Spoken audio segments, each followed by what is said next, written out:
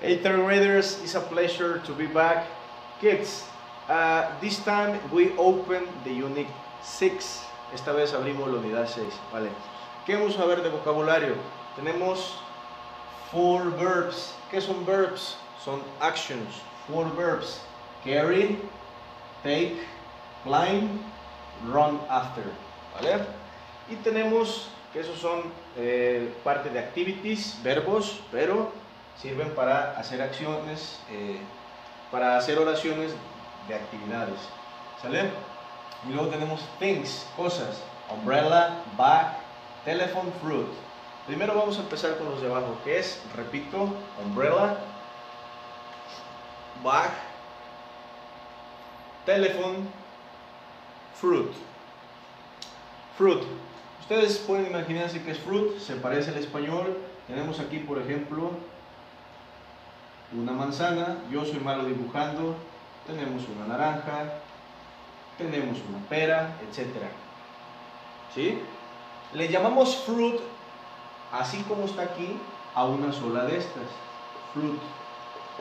Pero también le llamamos fruit al conjunto. Fruit puede servir para decirle a una sola o a todas o a varias, ¿sale? No, no, no, no se utiliza el fruits, no. El fruit, así como parece que está en singular, bueno, se usa como singular, pero también como plural para mencionar a varias, ¿sale? Es como decir, fui a la tienda a comprar fruta. Te está refiriendo que fuiste a comprar, eh, pues a lo mejor varios kilos y de varios tipos, y estás diciendo fruta, como si fuera una sola, pero te refieres a un conjunto, entonces ya es plural, ¿vale? Ok. Y luego tenemos aquí, esto es muy importante, carry. ¿Qué es carry? Por ejemplo, eh, esto. Tengo el libro. I am carrying my book. Carrying.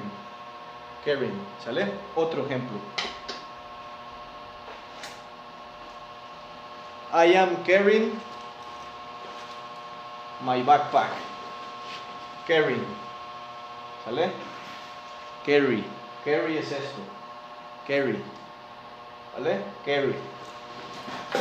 Bien puede ser, ah, cayó todo. Bien puede ser en la, en la espalda, aquí. Puede ser llevar, cargar, etc. ¿Sale? Bueno, tenemos carry, luego tenemos take. Take es esto. Tengo aquí, tengo aquí el marker, take. ¿Lo vieron? Take. ¿Qué estoy haciendo? Recuerdan que las oraciones del presente continuo son para acciones que están pasando. I am taking the marker. I am taking, es lo que estoy haciendo. I am taking the marker.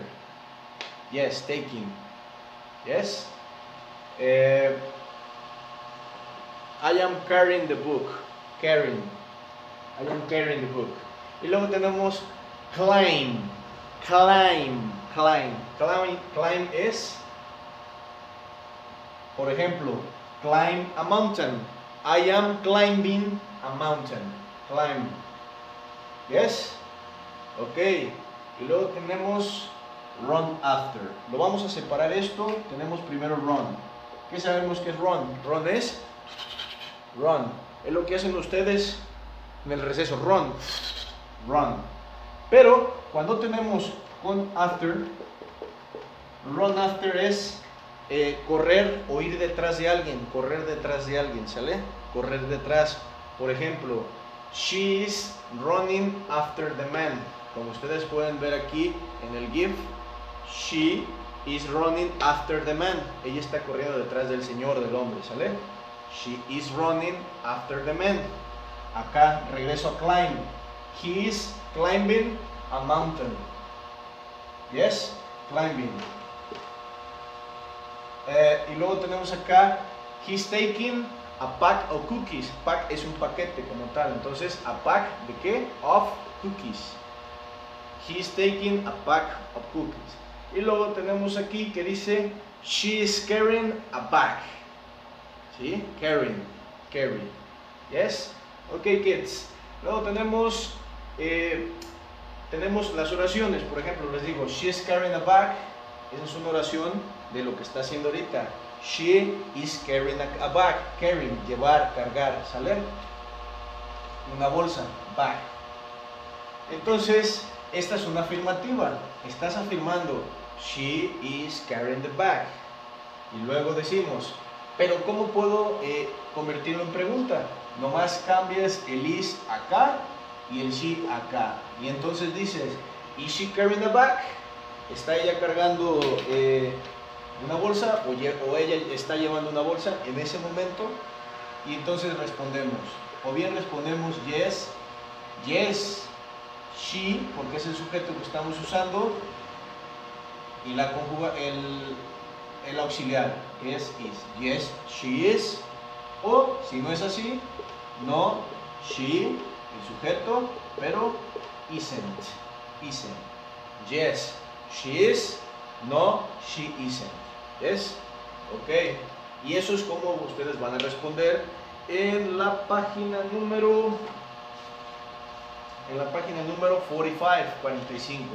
Tenemos oraciones que ahí dicen, por ejemplo, tenemos que ver la imagen que está a la izquierda y tenemos la primera oración eh, que la voy a hacer aquí mismo. La voy a hacer aquí mismo la primera oración. Tenemos, we have, is he climbing, is he climbing through, through es a través, through the window, a través de qué? De la ventana. Is he climbing through the window? ¿Y cuál es la respuesta? Pues no, no, está climbing, está walking, walking. Entonces desde ahí está mal. Y aparte no es through the window, está yendo through the door. ¿Sale? Entonces, respuesta es no, he isn't. Pero si fuera así sería yes, he is. ¿Cómo sé si lleva he o she? O, o it, incluso. Si lleva la pregunta it aquí, entonces es no, it isn't. Si lleva it, repito, pero con yes, yes, it is. ¿Vale? Depende mucho del sujeto que vamos a poner acá. Y bueno, si es un no, lleva isn't. Si es un yes, lleva is. ¿Vale? Tan sencillo como eso, vamos a contestar así nada más. Cada una de las preguntas es con no, eh, el sujeto isn't o yes, el sujeto is. ¿Sale? Solo lleva una respuesta a cada pregunta. Bueno. Y en la número 2, ¿qué vamos a hacer? Aquí es al revés. A diferencia de la primera que ustedes tienen que colocar o escribir una pregunta de acuerdo a lo que te están preguntando, acá es al revés. La, actividad 2 abajo dice Write the questions for the answers, que quiere decir escribe las preguntas para las respuestas. Ya tienen las preguntas, tú vas a elaborar, perdón, ya tienen las respuestas, tú vas a elaborar las preguntas. Y voy a hacer el ejercicio aquí. El número 1 de 2 que hay. Tenemos que dice número 1 y podemos ver una niña que está, ¿qué está haciendo ella? y le vas a preguntar sobre lo que está haciendo. ¿Qué está haciendo ella? She is carrying a, box, ¿verdad? She is carrying a box. Bueno, tú le vas a preguntar, is she carrying a box? Para empezar, ustedes están preguntando, ¿por qué tuvo que llevar she? Por la sencilla razón que es ella, es una niña, en la número 1, en la imagen número 1 del ejercicio 2 de la página 45 porque es una niña. Ya tiene la respuesta aquí que dice no, she isn't. Es una niña. Y aparte ya te está diciendo que es con she. Entonces, si va a ir con she, primero lleva de llevar su conjugación is. las terceras personas siempre la conjugación va a ser con is. ¿Vale? Entonces, is, she, porque ya te está diciendo que es she, que es ella. ¿Y qué? ¿Qué está haciendo? Carrying. Lo que quedamos que es carry. Carry es llevar, cargar. ¿Sale? Entonces, pero como lo estamos utilizando los verbos en presente continuo con ing, entonces ponemos is she, ¿qué está haciendo? Ah, carry, carry. Ah, ok, carry, y le agrego ing, y luego que está cargando, es a box, y ahí queda, ¿sale? Y luego tenemos abajo un niño, ¿qué está haciendo? Es, carry, take, climb o run after. Y ya vieron, y la respuesta dice, yes, he is.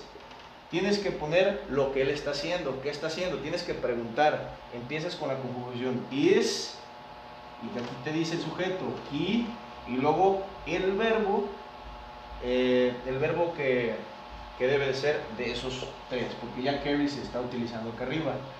Is he taking? Is he taking the dog? Is he taking the dog? Is he climbing the dog? O is he running after the dog? Y ya cierran la pregunta con eso, ¿sale? Y ya está la respuesta. Bueno, eh, después pasamos a la página número 46, 46. Y aquí tengo este pequeño texto, nada más que voy a borrar esto que escribí aquí. Ustedes lo pueden regresar, es un video grabado, lo pueden regresar. Tenemos aquí esto, miren, chequen. There's a bear, tiene ahí, dice, There's a bear in Miss Dad's yard. He's climbing through the kitchen window. ¿Sí? There's a bear. Quiere decir, there's, hay un oso. There's a bear in Miss Dad's yard. O sea, en el yard es en el, en el patio, esos yards, en el yard de quién? De Miss Dad's. Miss Dad's es una señora, ¿sale? La señora Dad's, ¿sale? Y entonces dice, he's climbing through the window. Climbing, climbing through a través de kitchen window, o sea, la ventana de la cocina. ¿Está haciendo eso? Bueno, le van a poner, y aquí tiene el número uno puesto, ¿vale? Y, la y está unido con la imagen en la que está haciendo eso. ¿Cómo van a saber las otras dos? Por medio de escuchar un audio, ¿sale? Van a escuchar ahorita el audio, permítanme. Well kids, we will continue. Now I'm going to play the audio. Voy a reproducir el audio. I'm going to play the audio.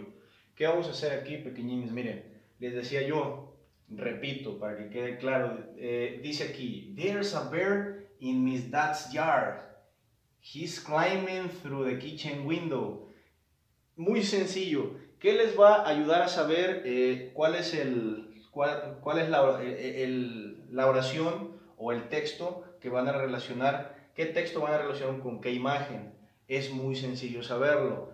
Ya te está diciendo aquí la respuesta en el verbo que está en, presente continuo. Climbing. ¿Qué es climbing? ¿Vale? Climbing. Desde ya te está diciendo. Entonces ahí ya está hecho.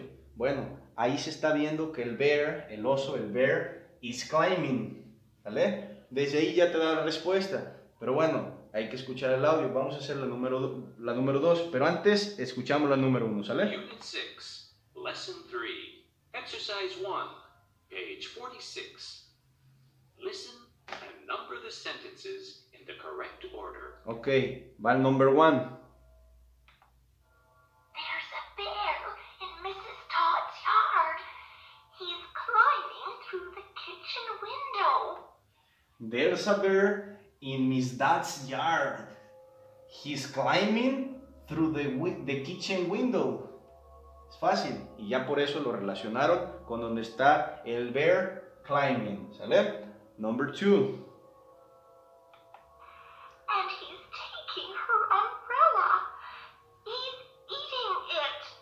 Y dice, he's taking her umbrella. Taking her umbrella. taking her umbrella and he's eating it. Yes?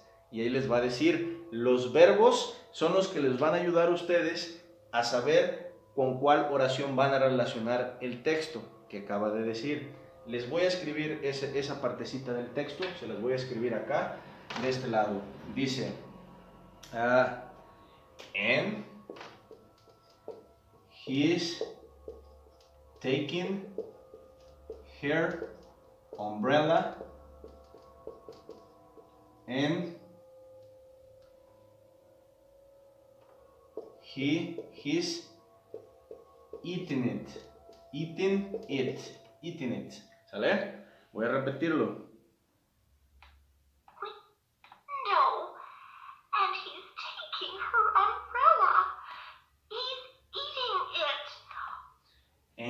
taking her umbrella and he's eating it. ¿Qué les está diciendo? Taking, que es de take, taking, tomando. Taking, ¿vale? Y luego eating, eating it. Eating, eating it. Ok. Ah, ¿sale? ¿Ya vieron qué sencillo? Los verbos, sin entender todo lo que está diciendo, solamente el verbo les va a decir, o los verbos, en este caso son dos, les van a decir con cuál imagen se va a relacionar. ¿Sale? Ok, kids. So, that's it for this time. It was a pleasure for me. Eh, como ustedes ven, híjole, me frustra un poquito no hablarles más inglés, pero para explicar eh, la estructura de las oraciones y explicar los ejercicios, pues obviamente no se puede este, practicar el inglés hablado.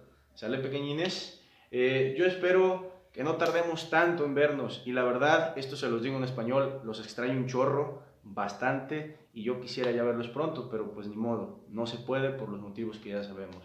Bueno, eso sería todo, kids. See you later.